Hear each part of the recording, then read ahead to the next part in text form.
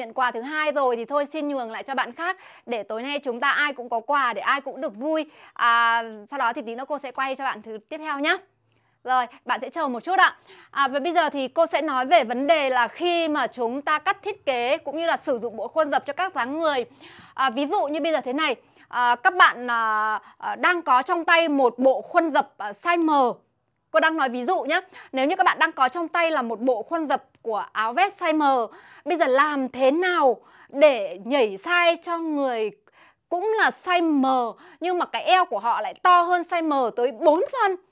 Đấy, bây giờ cô đang muốn nói với các bạn là à, cô đang muốn hướng dẫn với các bạn là làm thế nào để sử dụng bộ khuôn dập có sẵn để nhảy size cho những người không cân đối. Và cô đang có ví dụ là các bạn đang có một bộ vest size M và các bạn muốn cắt cho một chị khách đó cũng size M nhưng mà chị khách đó cái eo lại to hơn size M tới 4 cm thì làm thế nào? Đấy, vậy thì bây giờ cô Thủy sẽ chia sẻ như sau.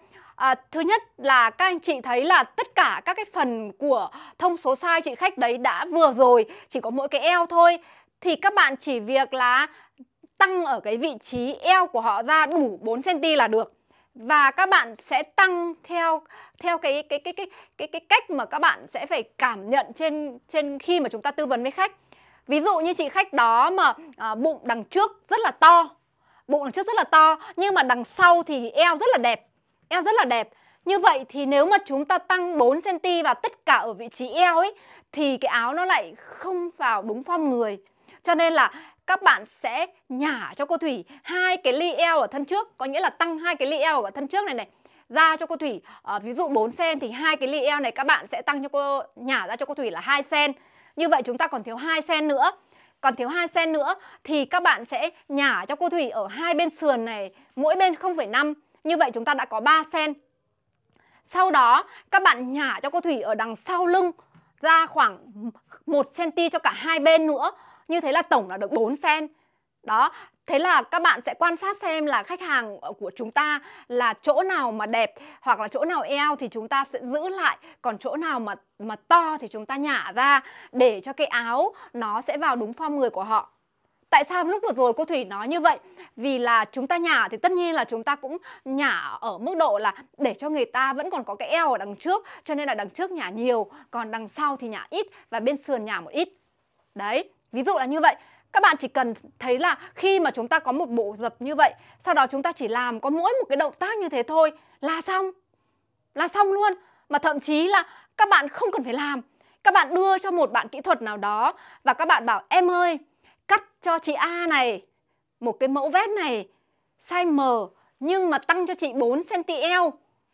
Đấy, 4cm eo. Và tăng như thế nào các bạn có thể ghi ra một tí Là người ta làm đúng ý các bạn luôn nếu như các bạn cẩn thận đó thì các bạn có thể chụp hình ảnh của dáng người khách, chụp đằng trước này, à, chụp đằng sau, chụp bên cạnh. Đấy, thì cái người người ta sẽ thực thi cái mẫu của bạn sẽ chuẩn luôn. Đấy. Và qua đây thì Thủy cũng lại chia sẻ với cả nhà một chút kinh nghiệm nữa là các bạn sử dụng sai mà khi áp dụng cho một số các dáng người không cân đối khi mà đi đo đồng phục.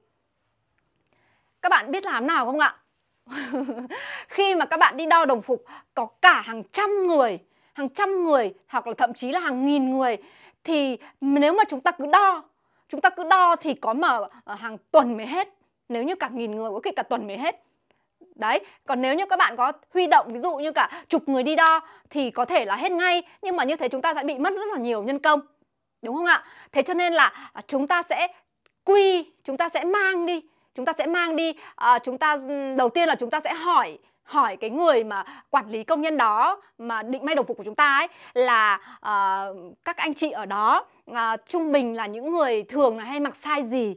Thường là hay mặc size gì? Đó và chiều cao cân nặng là bao nhiêu? Đấy để chúng ta à, ước lượng được là cái những cái nhóm khách hàng đó sẽ sử dụng bộ khuôn dập size nào. Đấy, sau đó thì chúng ta sẽ uh, có những cái mẫu mà chúng ta đang có sẵn ở cửa hàng Vì chúng ta đã có một cửa hàng to rồi thì chúng ta phải có được những cái điều đấy Vì các bạn muốn nhận được đồng phục thì các bạn phải có một cái gọi là có một cái thương hiệu hoặc có một cái cái cái một cái số mẫu nào để cho khách hàng người ta còn thử đúng không ạ? Cho nên là à, các bạn sẽ biết được rằng là cái tổ đồng phục đó sẽ gồm có 5 size chẳng hạn S, M, L, XL, 2XL thì các bạn sẽ mang các cái mẫu đã may hoàn chỉnh đó để cho khách hàng mặc nhá để cho khách hàng mặc.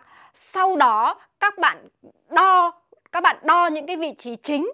Có nghĩa là các bạn sẽ đưa cho khách hàng mặc những cái áo sẵn đấy của chúng ta sau đó các bạn sẽ đo những cái vị trí chính. Ví dụ như là dài thân trước dài thân sau rộng vai dài tay. Đấy sau đó các bạn sẽ ghi chú ra là chị A này size M nhưng mà eo to hay là nhưng mà uh, mông nhỏ hay là lưng gù hay là ngực ưỡn hay là chật hay là rộng chỗ nào thì các bạn sẽ ghi ra. Đấy các bạn sẽ ghi ra. Sau đó các bạn mới bỏ áo vest của mình ra và các bạn mới đo các cái vòng ở bên trong của người ta đầy đủ các thông số.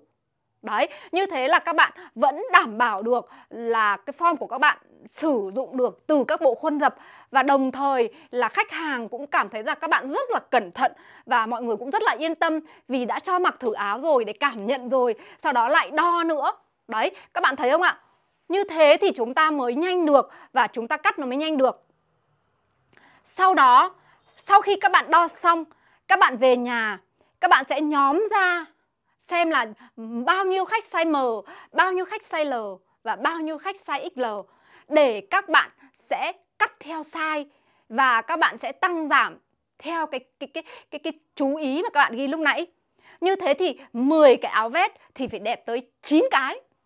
Thủy chỉ nói đến 9 cái thôi, chứ không dám 10 chọn 10 đâu Vì cái gì nó cũng có xác suất Đấy, cho nên là các bạn biết không Khi mà các bạn sử dụng các bộ khuôn dập Và các bạn biết cách ấy Thì sẽ rất là nhanh Tại sao từ nãy tới giờ Thủy chưa nói đến phần công thức?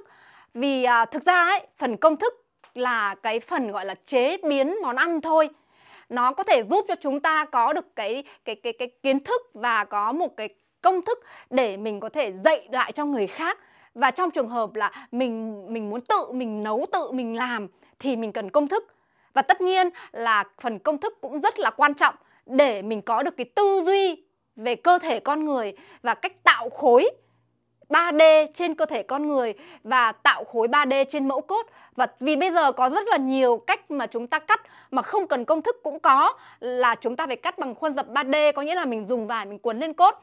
Nhưng mà cho dù là 3D hay là 5D hay 6D thì chúng ta vẫn phải có một cái khái niệm về các cái hình khối của cơ thể. Và chúng ta cũng vẫn phải có công thức. Đấy, thì cái công thức này nó sẽ bổ trợ cho quá trình chúng ta làm thời trang. Nhưng mà khi mà chúng ta đã có rồi thì chúng ta lại tạm gác nó sang một bên Và chúng ta sử dụng bộ khuôn dập.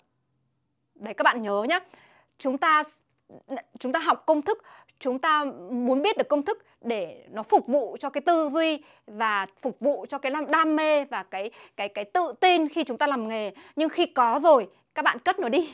Các bạn cất đi và các bạn hãy sử dụng các bộ khuôn dập cho cô.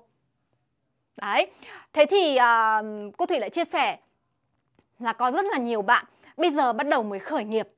Bây giờ bắt đầu mới khởi nghiệp và các bạn cũng rất là khó khăn. Vì giờ các bạn bảo bây giờ nếu mà em học nghề mà em học để giỏi được như cô thì sẽ lâu lắm sẽ rất là lâu. Mà em cần phải đi làm bây giờ em cần phải đi làm nhanh em cần phải có kinh tế để em mới duy trì được cuộc sống thì làm thế nào?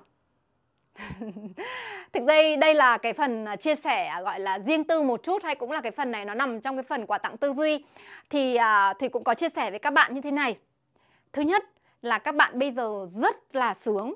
Các bạn bây giờ rất là sướng vì cái phương pháp đào tạo và cái cách đào tạo bây giờ cũng khác xưa rất là nhiều.